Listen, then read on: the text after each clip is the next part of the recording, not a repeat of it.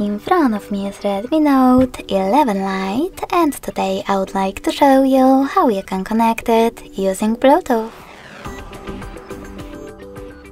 First of all, go into settings and tap on Bluetooth feature. Then wait for available devices to show and when they do, click on the chosen one.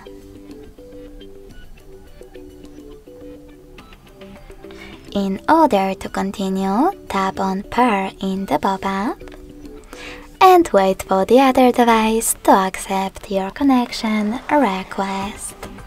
As you can see, my devices were successfully connected, but you can always disconnect them by choosing this icon next to the device and tapping on Unpair under Rename. You can always connect to the same one though by tapping on it again and hitting pair. Thanks so much for watching. If you enjoyed this video, smash that like button, comment and subscribe. Bye!